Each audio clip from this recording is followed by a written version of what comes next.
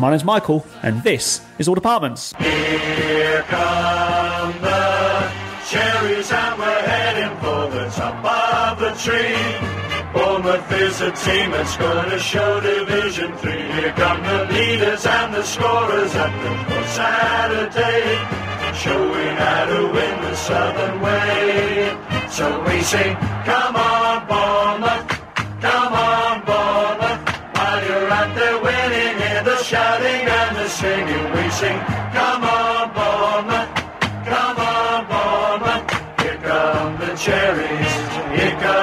cherries, here come the cherries, number one.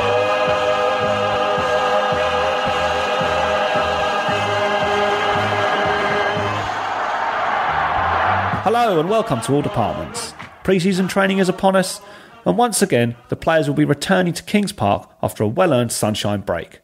Maxim Demin would need to build a new pavilion with as many seats as the one in Westover Road to accommodate all the players we've been linked with this summer. But as many have pointed out, tabloid transfer tittle tattle is much more desirable than talk of points deductions, CVAs, and liquidation.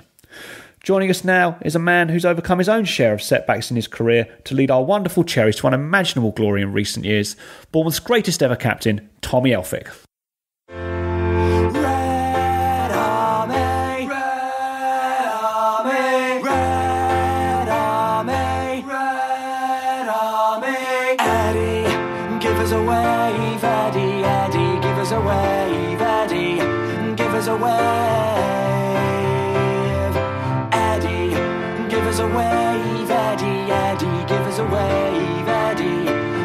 A wave. Tommy, welcome back. Thanks for having me again. Now, we spoke last summer, and years gone by seems very quickly looking at it from, from this side of things. Obviously, a lot's happened. Um, I know you've had a bit of a holiday and, and been doing one or two other things, but how has it compared uh, from from last summer? Because obviously, you've got a lot more attention now that we're in the Premier League, even though we haven't kicked off yet. Yeah, I think um, sort of the story um, that we've all created together and um, the magnitude of what we've done, it, it's really been um, taken on. Everybody's really uh, took, took a shine to it and wanted a piece of everyone, not just myself. I've been lucky enough to go and do some uh, sort of TV stuff on, on Sky Sports um, and Premier League TV and a few other interviews and that. But everyone really, they're, they're all getting their own little stories out there, and I think that's the beauty about what we've done is there are so many stories, and we've all come from um, tough careers, if you like. haven't done it the easy way, and, and the whole sort of football nation has, has really took a shine to it and, and wanted to know as much as possible about it. So it has been pretty full on, um, especially for the first couple of weeks. You know, people wanting you to do various things, and, and you have to turn quite a, quite a bit down as well. Otherwise, it can get too much. Um, the important thing for us, you know, is, is we want to move forward and and try and establish ourselves in, in the Premier League. So we need to sort of get over this fairy tale story that we've all created, which, which has been amazing, really. But but now it's time to get back to business and and really put our stamp on the Premier League if if we can. Mm, and your profile, along with the other players, as you were saying, has has raised quite a bit, and probably will do more so now in the next in the next season. Um, do you do you feel um, that you're more public property than you were before? Do you get more attention in the street? You've had people coming up to you when you've been on holiday, anything like that? Yeah, um, I think quite a lot um, of people have taken notice of the championship race this year 'cause it was so tight, and, and a lot of people have sort of um, tuned in this season. So we have been noticed quite a bit, and when we've been together more so. Um, and then the odd person, you know, when you're on your own and, and away on holiday and stuff um, at the airports, you know, people sort of make little remarks like congratulations on last season, and, and that's all good. Um, and, and for now, you know, it's it's great. It's all positive, um, but it's a, there's a little lesson to be learned in there that you know we're playing on the biggest stage now, um, and things aren't always going to be smooth. So some of the recognition that we are going to get next season might not be in, in such good light. Um, you know, all the coverage from the press has been amazing. Uh, the TV, the newspapers, it's, been nothing but positive. but that can quickly change. Um, so we have to realise that, that that could be the situation next season. And don't get me wrong, it's, it's important that we enjoy what we've done and, and um, take great pride in it and, and look back on it with great memories. But you know, we've got to draw a line under that now and, and look forward and, and, and as I said, really try and establish ourselves in, in the next league up. And has anything surprised you in terms of what's happened since we've been promoted, or was it pretty much as you expected? Um, no, I think you, you always have a, have a, vision as a player. You know, you always sort of see an outcome, and, and that's a great thing to look forward to and aim for. And I always felt that we could could do it. Um, you know, the, the longer it was going on, and the longer we was at the top, it was getting more and more realistic, and you know, it was almost within touching distance with, with a few weeks to go, and and then when you finally do it, it's it's it's amazing feeling, and you don't really get time to reflect on it because you know it's on to the next one now, um, and the magnitude of what we've done can never be lost. I mean, what we what we've all done as a football club, and, and everyone, I include the supporters, um, the, the chairman, and especially the manager and, and the players. You know what we've done is truly amazing, and it's not something that will fully sink in until we've probably retired and, and look back on our, our careers and think, you know, blimey, we, we put Bournemouth, really did put Bournemouth on the map there.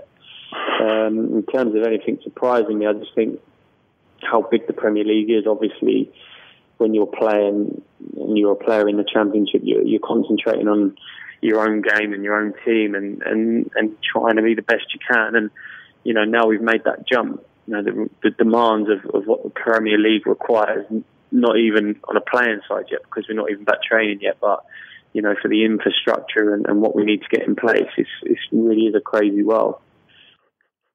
And just going back to last season, there was a couple of things I wanted to ask you about. We had a lot of brilliant times and, and great results last season. There's obviously a few that stick out, at the 8 0 at Birmingham, for example. Yeah. But um, looking across the season, for me, and obviously I'm looking at this from the stands, I'm not yeah. uh, in on the inside, as it were. But the most important result, from my point of view, was when we beat Wolves two one at home, which yeah. was the the game that ended a bit of a bad run of results prior to that. I mean, the performances yeah. were all right, but we weren't really, you know, we all seemed to have a bad time in yeah. February. And I remember that game, um, I think we went 2 1 up quite early in the second half. I think Yann got mm. uh, scored a penalty. And then after that, I noticed that our style of play, which has obviously been uh, lauded quite rightly for you know how stylish we are, the way we pass the ball, the goals we score, the attacking play, and all that kind of thing. But I noticed, and I don't know if this was deliberate or maybe it was just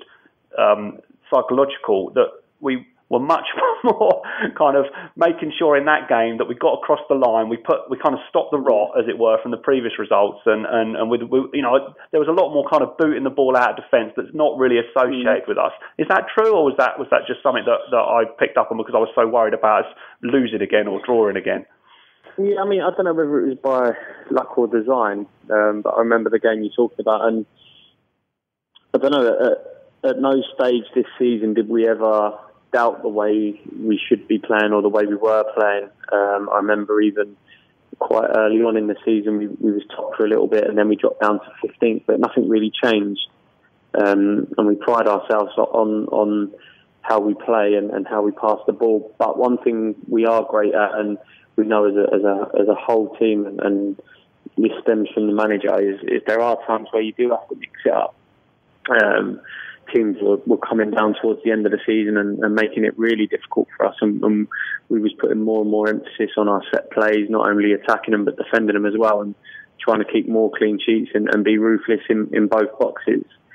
Um, so uh, there was a stage last season where people maybe thought we was a little bit of a, a one-trick pony and you know, was, was sort of saying if, if you could stop Bournemouth playing out, then, then you're going to stop them winning. But I think, as you say, with, with games like that, we, we really did put a nail in that coffin. And, and you look back, even the, the Wolves away game uh, was pretty similar. Um, Bolton away. Uh, there, there was a few last year. Middlesbrough away, nil nil. Um, I think that was the one real big improvement from from the, the season before. We we kept a hell of a lot of clean sheets last year, and and that got lost a little bit with, with all the attacking play and the goals that we created. And, and we're all for that. You know, the defenders like to slip under the radar and and you know give all the praise to the boys going forward, but that can't be lost to how we did improve defensively last year. And I just wanted to talk about the running. We had mm. the international break, I think, around March time, and then I think that was when we brought Kenwyne Jones in, and there was seven yeah. games to go, uh, and then Kenwyne scored, I think, in his first appearance, wasn't it, against Ipswich? He came on, Ipswich, yeah. got us the equaliser, and then there was a few games after that where the play looked more, and I think this probably is something that feeds off the, what's happening on the pitch and in the stands. Everything felt a yeah. bit more. Everything felt a bit more nervy. We had the game at Brighton where mm. went a long time uh, without scoring, and then we managed to get the two goals in probably the final quarter of the game and uh, and got the points. Uh, we had the one at home against Birmingham where we went two 0 down, and I think we certainly went. I think we went in at half time two two. That was another nervy yeah. one. The one that really sticks out for me was um, the one at Reading when we scored mm. early, and and then it felt. I mean, we, when you look at the statistics afterwards, you know, we were basically in charge of the game. But watching from you know where I was in the stands, it was I was I had no fingernails left after that game. Did the players feel that kind of edginess as you got nearer to the line, or is that just something that comes from the fans? Um, I, am not sure. It's, I can speak for myself. There was never one stage towards that running where I, I was in doubt about what we was going to go on to do. And, and even if it wasn't to be automatic, I, I still felt that we had more than enough to go and do it through the playoffs. Whether that run through other players where, where they got a little bit nervy, possibly, um, and, and that would be something that you know you could only get from them, and, and no player would, would probably want to admit that. but I mean, looking back on hindsight, you, you probably say there were a little bit of nerves flowing around the whole stadium. You know, that everyone, it, it, the players, the fans, and I mean, the Birmingham game was was a great example. Um, sometimes as a player, you can get lost in in all the um, the plotting up of points, if you like, where people say, "Ah, oh, that's that's an easy three points," or "That's going to be a tough one," and and, and that one's going to be a tricky one. And, and so, like most of the time, it doesn't work out the way that it should or people would expect. Um, but at that stage of the season, you know, you've come so far, and you you do all your hard work up until Christmas and put your points on the board there. You know, with that last seven or eight games, if, if you're still there, it's, it's just about getting the results. Um, and and the games that you mentioned, like the Reading away and, and the Brighton away, they give the players no more satisfaction because you know you're not quite at your best, but you're still winning, and you still feel like you've you've got five or ten pound in hand. Do you know what I mean? It, mm. It's a great feeling. Um, and and all the while we was getting them results, and, and even the Birmingham one where we had come back and won, there was great lessons to be had, and, and they was only giving us more and more confidence. And then I think you know, the last three or four games, that's when we sort of the handbrake come off and it was just full steam ahead and we were never going to give it up at that situation, you know. When the fans, myself included, looked at those fixtures towards the end of the season and compared them to our promotion rivals, tend to think not that the game's going to be easy, but we have no. a kind run in. Um, yeah.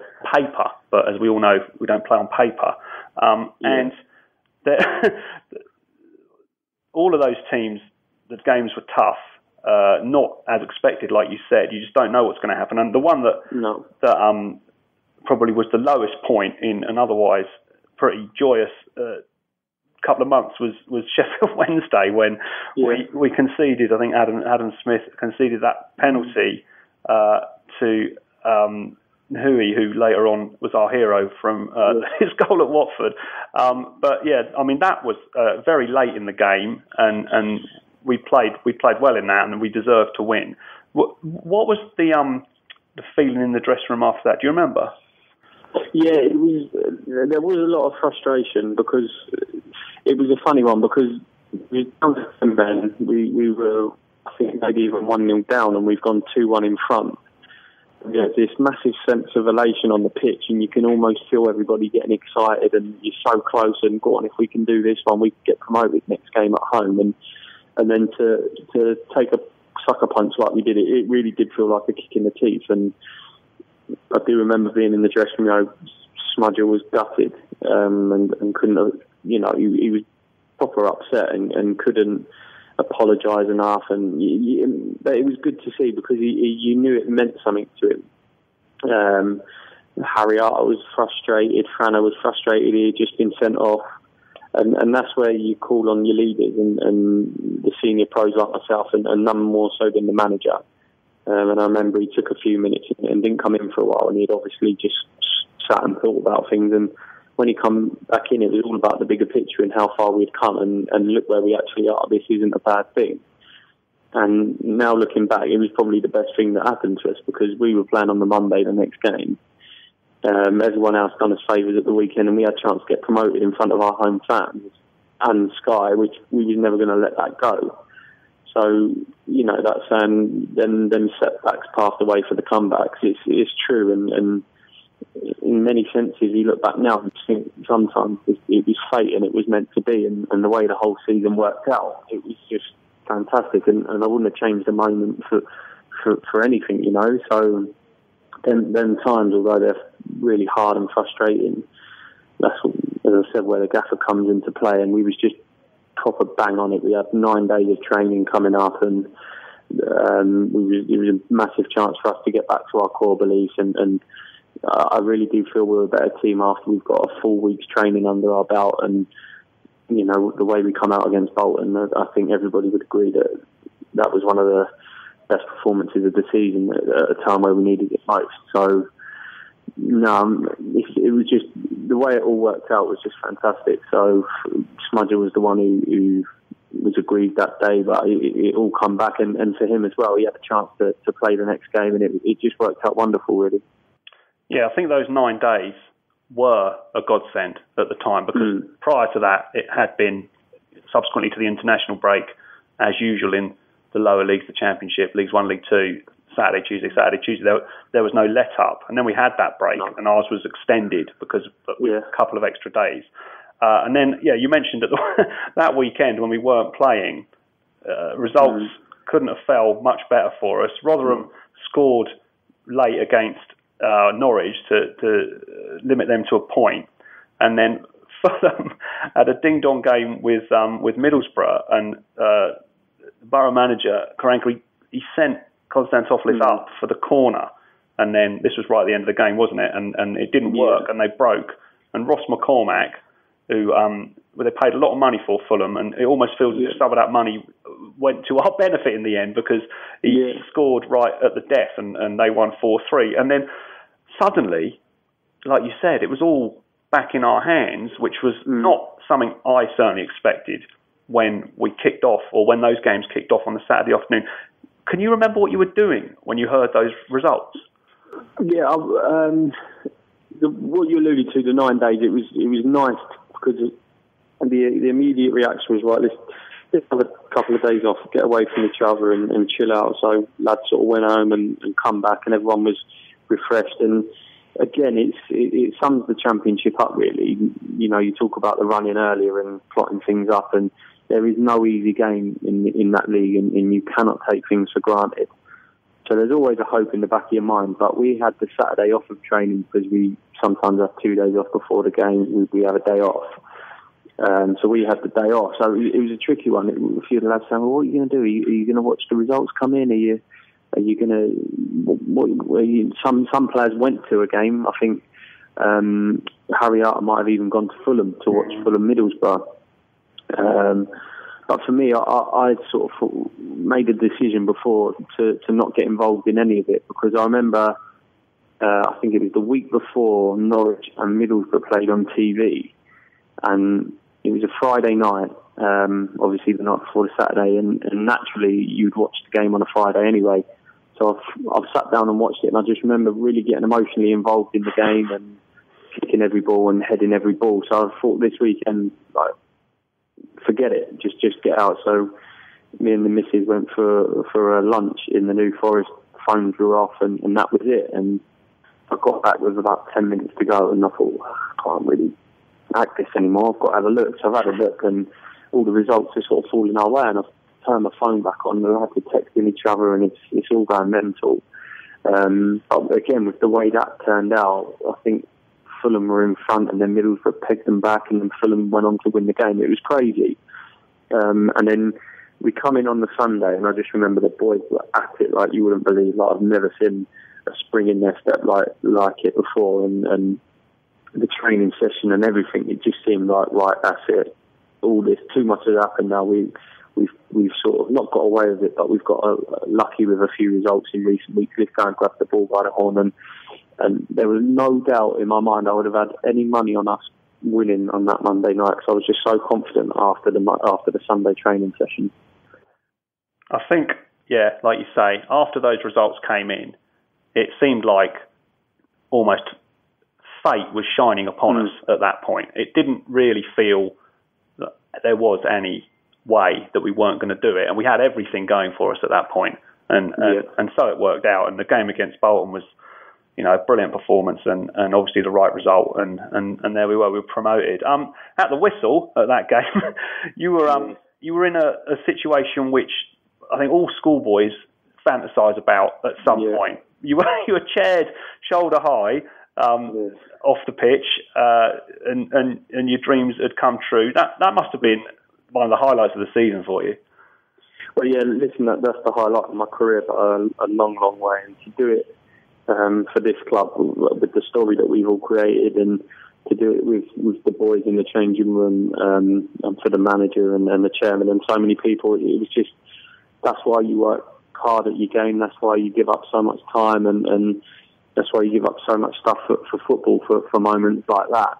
Um, and, and as I said before, a lot of us have come up the hard way, and we've got such a bond in the changing room. To share that night and, and that pitch with them players is, is something that you know I will never forget. Um, like I was obviously everybody knows I was out injured for so long, and you know that seemed an absolute million miles away from me getting to this situation. But as I say, that's why we all work hard, and that's all. That's why we all play football for, for moments like that. And yeah, I mean, highlight of the season by far, yeah, for sure.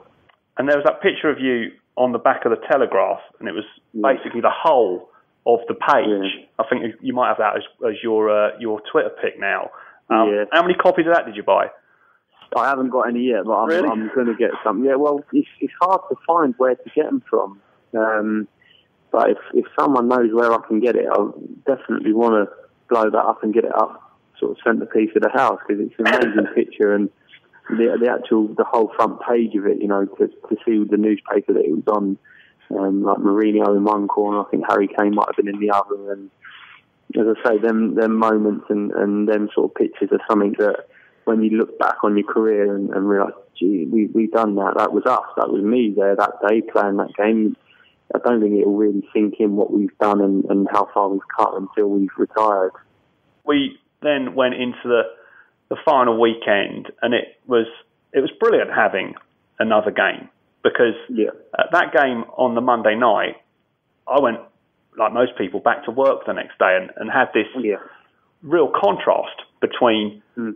You know, I'd supported Bournemouth since since 1982, and obviously this had never happened before. So on this real mm like high in a, a state of, of total disbelief, really, uh, like very emotional, uh, as you well know. And then the next day, just back to this sort of humdrum, going into work, and, and everything was just was just completely normal again. It was it, was, it didn't mm. to sort of. I felt like I should have had at least another day off to celebrate, but yeah. luckily we had the game the following weekend, and that was a bank holiday weekend, so most people had a few days off anyway.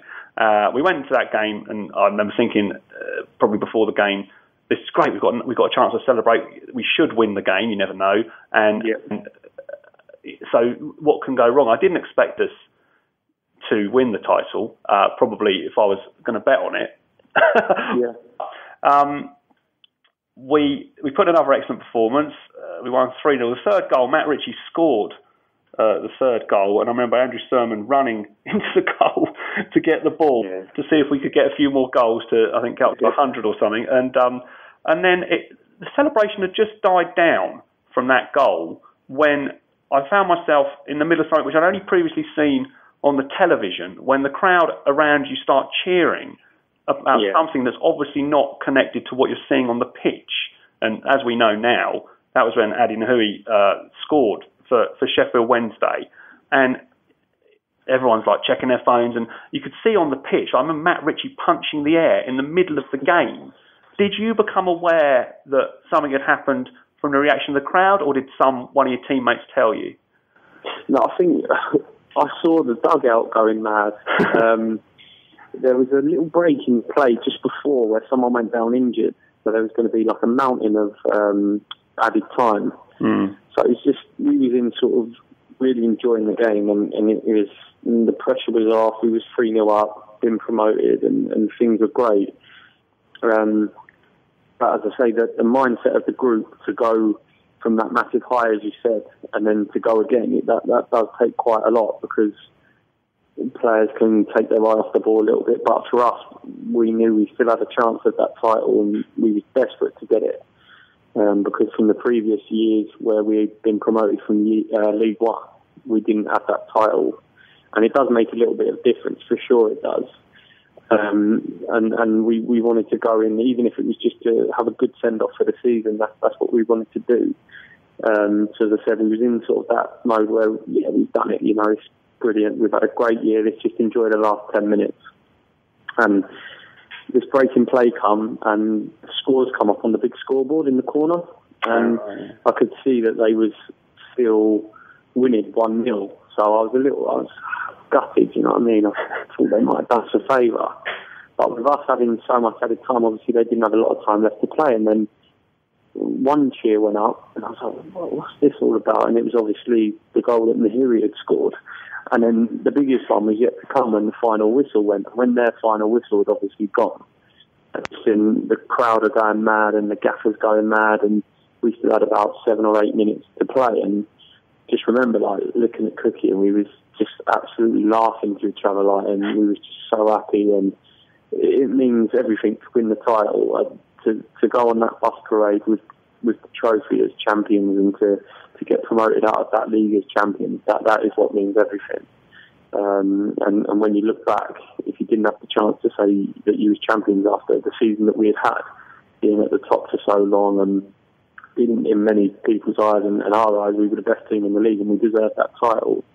Um, so again, it was like a sort of, it was like it was always almost meant to be, and it was it was fate. Um, but it, was a fate to, to cap it off like that. It was just an, an unbelievable afternoon again after what we've just been through. So it's just that that week is something that we will never forget. In the last ten minutes of that game, I did not have a clue what was going on. I was all, all I was thinking was about the, the trophy and, and people that weren't there and people that were there and you know people that had helped me get to this stage. And it was just a real blur that last ten minutes. It was crazy.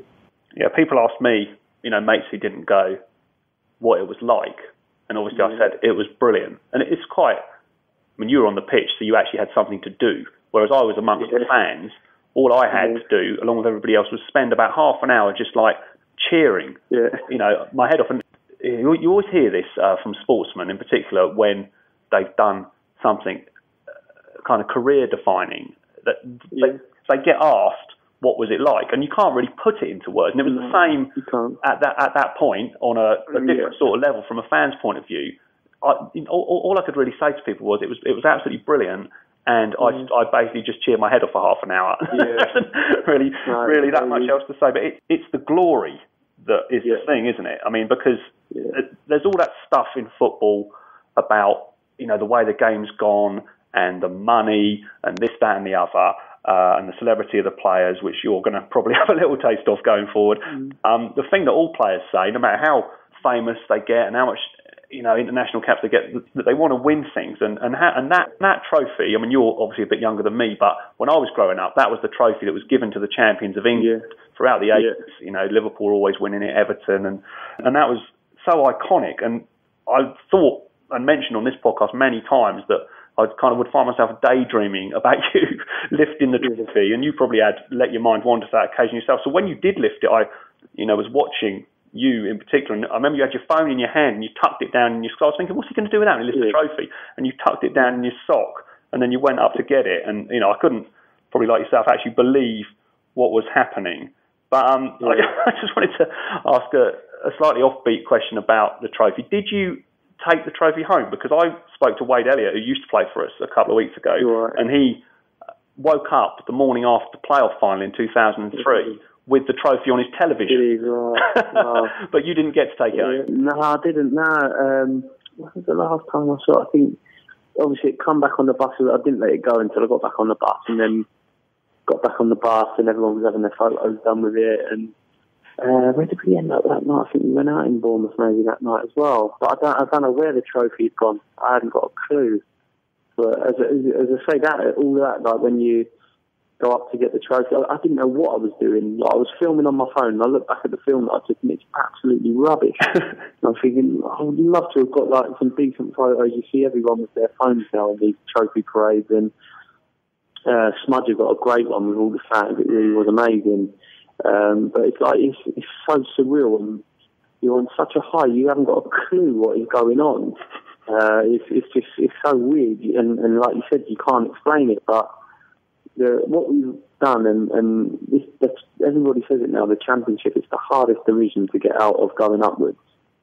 Um, and, you know, people, you, you know, speak to they're like, oh, you're going to be playing against this one and that one, and, you know, the money, what about the money? That must be brilliant. And that means nothing to me. Like, if, I, I get more satisfaction out of looking back and to say that I've lifted that trophy and and won that trophy with this group of players and the way we have, that is the ultimate satisfaction. And if, if I'm ever down one day, I'll just bring up images of that and, and and watch as many games from that season as possible. Um, you know, I could have, I could stop playing tomorrow, and I would finish with so much satisfaction out of what we done last year. Um, but as I say, that again, you know, hopefully there's more to come from this group because we're all at such a good age and, and going forward, and you never know what we could do.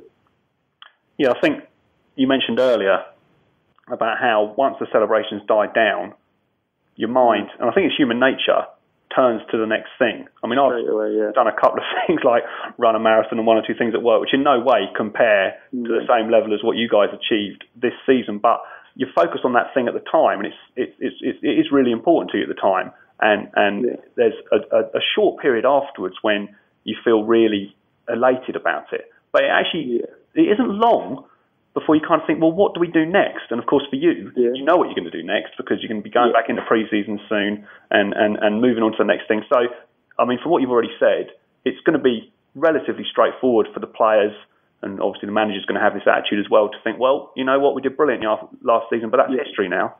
Yeah, yeah. It's just I think this team is built on a winning mentality, and anybody who shares the same winning mentality as the manager, as myself, and there's so many players that we've got in that dressing room, they will all know that once you've done that, it's now the next one. And even straight after we'd lifted that trophy and, and sat down in the dressing room and, and said our well done's and had the awards dinner, it was like, bang, this is what we've got to do to get ready for next season.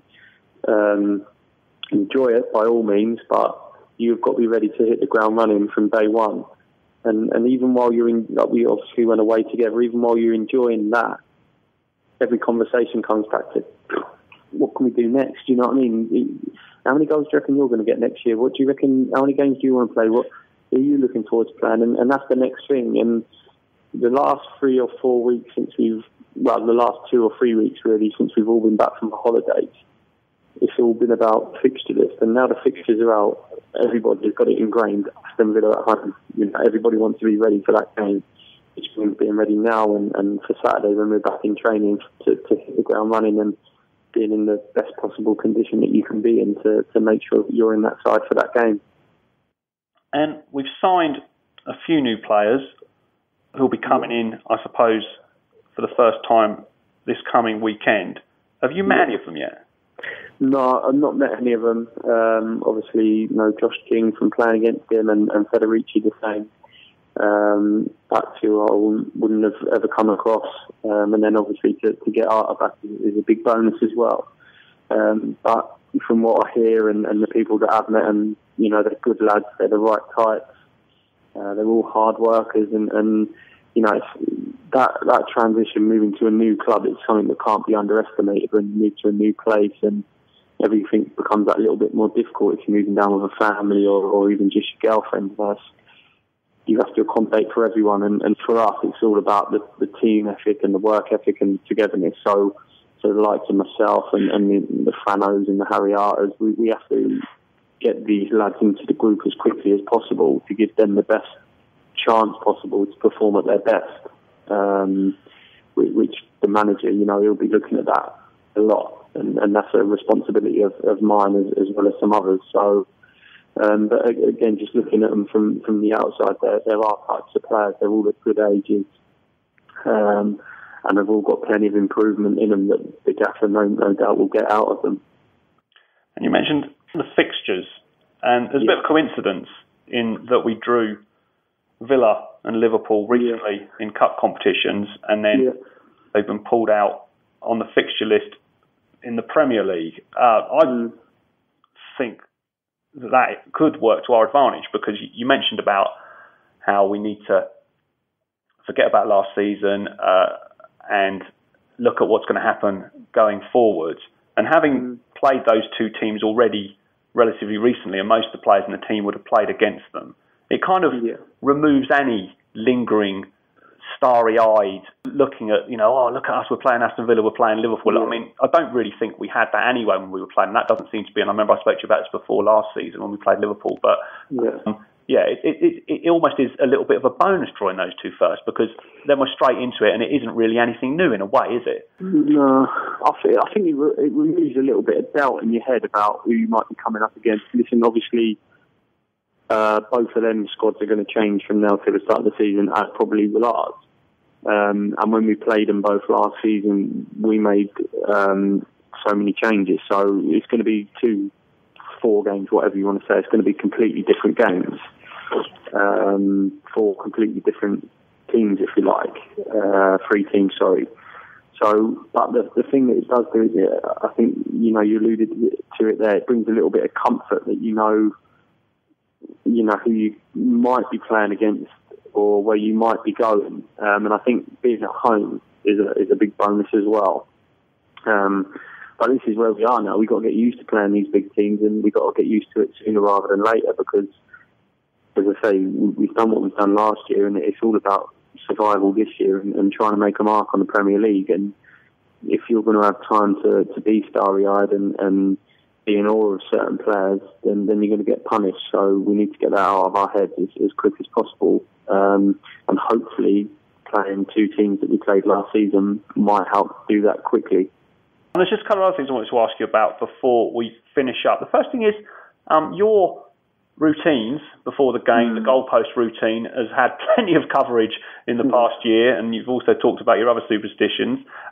I don't really want to go through that again. I don't know if you get tired of talking about it or not. But there was something I wanted to ask you about um, because, yeah. um, it, and it's it's what goes on, and you may not be able to reveal all of this in the huddle yeah. before the game. The players huddle together in the pitch, and uh, because we were on TV a bit more this year, yeah. the cameras zoom in on that, and so I, you know, yeah. although it's not possible to see what's being said. You can't even see your mouth, but you're there in the middle and the fingers wagging and, you know, you're doing the captain's bit in there. The, thing I wanted to ask you about that was that mm-hmm. it difficult week after week to find the motivating words or is that all just part of what you do as a captain?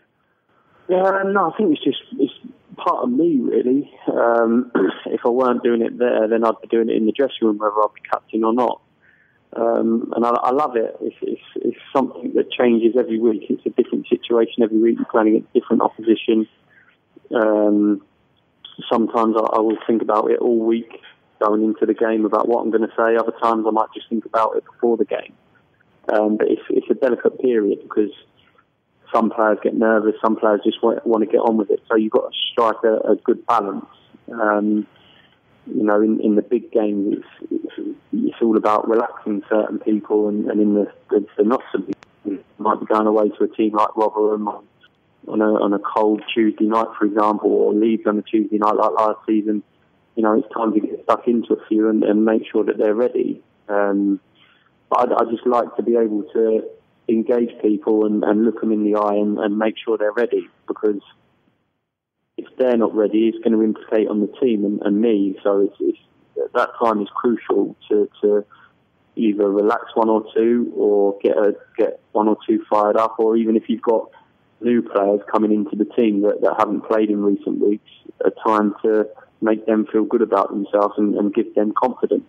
Um, but when you're playing in a good team, it, it's easy and it just rolls. You know, if, if you're losing, sometimes people can get, well, who, who is this guy to, to be telling me what to do? And, you know, if you're not going through a good time, it, well, who are you to tell me that? So it is a, a balance and a blend of, of what you've got to say and, and something that I don't take lightly because, as I said, it's such a crucial time.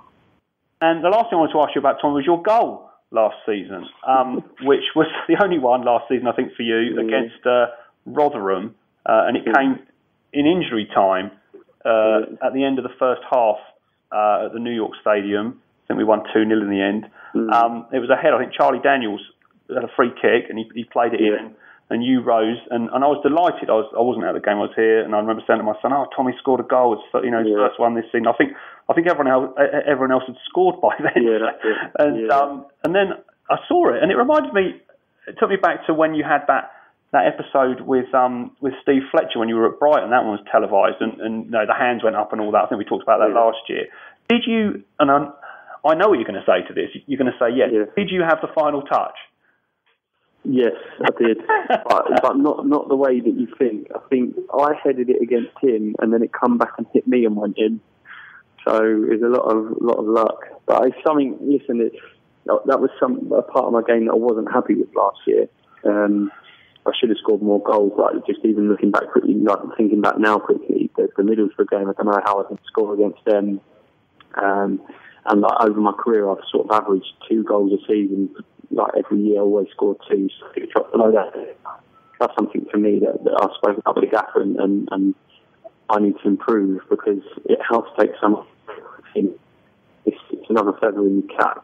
Um, so that, that yeah, without getting too serious about it, and definitely got to start scoring more goals. Well, Tommy, we look forward to seeing you banging them in next Yeah. season in the Premier League. Thanks ever so much for sparing the time to come on the show, and the best luck next season. Top man, thank you. Tommy, Tommy, Tommy, Tommy, Tommy, Tommy,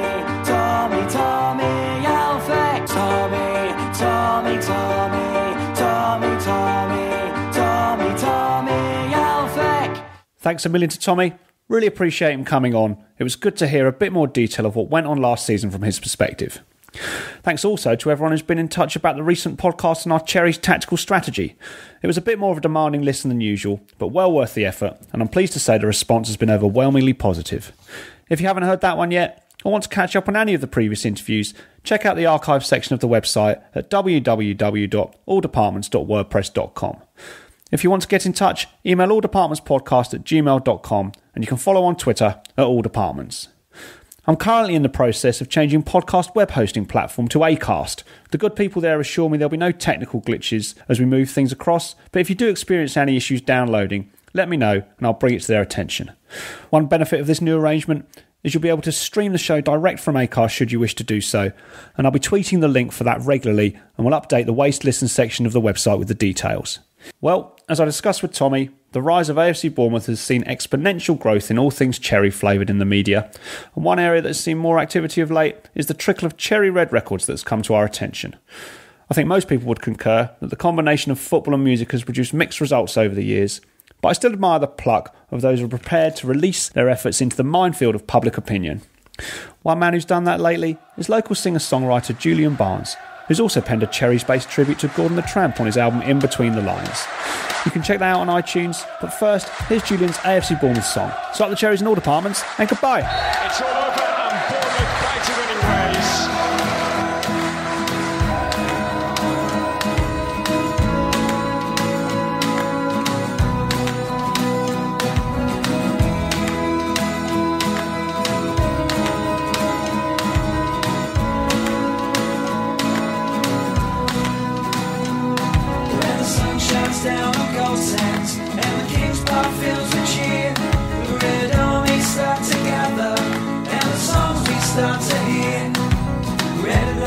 Is the color, one with pride and dignity. Cherries always when great team.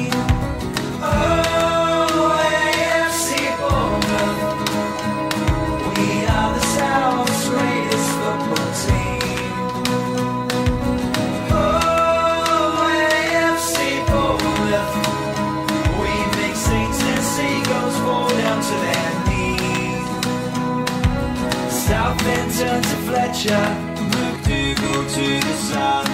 Our sound still resonates The glory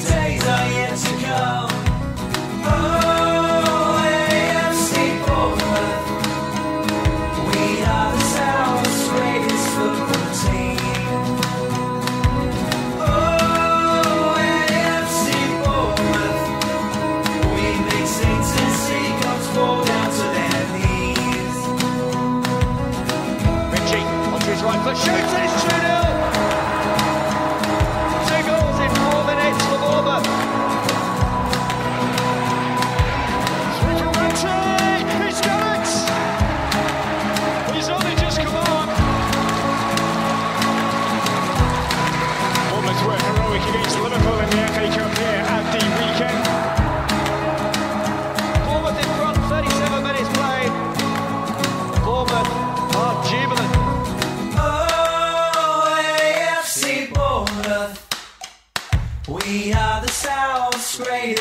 Bold team.